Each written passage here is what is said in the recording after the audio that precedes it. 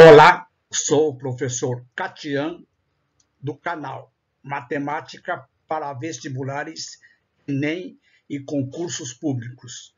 Questões de matemática e de raciocínio lógico da Banca IBAN, Instituto Brasileiro de Administração Municipal. Concursos que serão realizados pela Banca IBAN, Prefeitura Municipal de Guarujá, São Paulo Inscrições até o dia 14 de setembro. Prefeitura Municipal de Atibaia, Estado de São Paulo. Inscrições até o dia 28 de setembro. Prefeitura Municipal de Franca, São Paulo. Inscrições até o dia 29, 21 de 9 de 2023. E Prefeitura Municipal de Matão, São Paulo. Inscrições até 14 de setembro. Continue acessando o meu canal e assistam a playlist Banca IBAN, para que vocês conheçam o perfil da banca e principalmente o nível de dificuldades das questões de matemática e de raciocínio lógico. Então vamos para os comentários de uma questão da banca IBAN. Questão realizada para um concurso de oficial de administração para o município de Santos, numa pesquisa sobre preferência em relação a dois comediantes A e B, foram consultadas 3 mil pessoas, sendo que o resultado demonstrou que 1.350 pessoas gostam do comediante A, 1.420 gostam do comediante B e 510 gostam dos comediantes A e B. A pergunta é: quantas pessoas não gostam dos comediantes?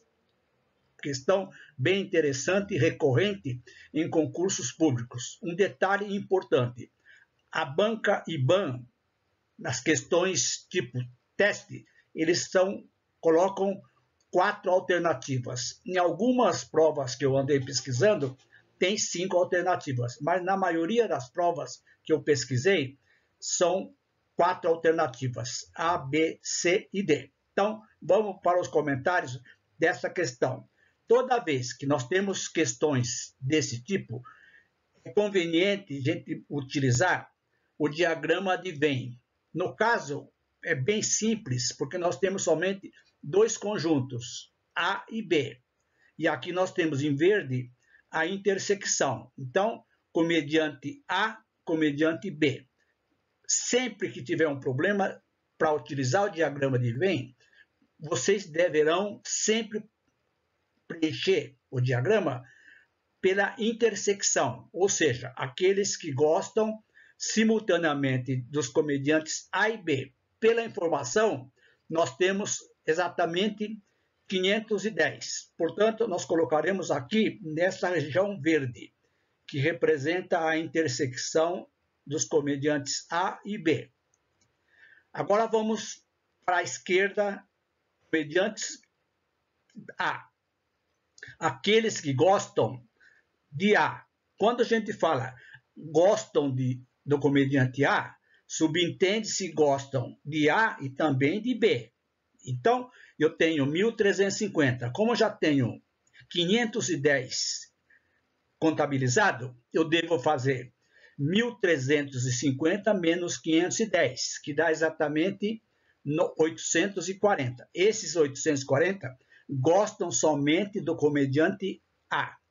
Comediante B, nós temos um total de 1.420. Da mesma forma, já temos contabilizados 510. Então, 1.420 menos 510, nós temos exatamente 910 que gostam somente do comediante B. A pergunta é: quantos desses, desses conjunto universo não gostam de nenhum dos dois comediantes? Eu vou chamar de X. Então, eles estarão fora desses dois círculos. Vou colocar aqui do lado direito.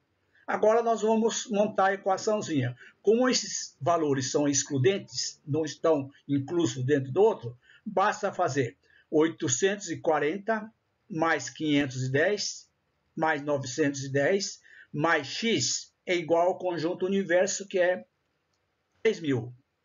Somando 840, 910, 520, nós temos 2.160 mais x igual a 3.000.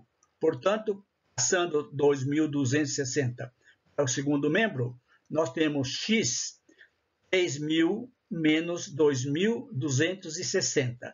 Efetuando essa diferença aqui, nós encontraremos exatamente aqueles pessoas aquelas pessoas da pesquisa que não gostam nem de A nem de B, que é exatamente 740 pessoas. Letra C. Questão bem interessante, recorrente em concursos públicos, de qualquer que seja a banca. Gostou? Tem uma figurinha aqui. Valeu, valeu demais. Então,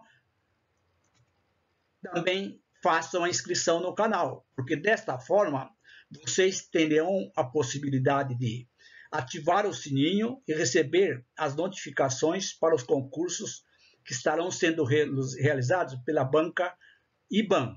Vocês serão os primeiros a receber tais notificações. notificações. E se você gostou desta videoaula e também das demais videoaulas da playlist, dá um like, porque isso é muito importante para o crescimento do meu canal e também uma forma de vocês retribuírem as visualizações das videoaulas do canal. E vocês que estão estudando para concursos públicos, que eu citei anteriormente, cuja banca será IBAN, cliquem na playlist Banca IBAN, cujo link está na descrição da videoaula. Espero que vocês tenham gostado e até as próximas.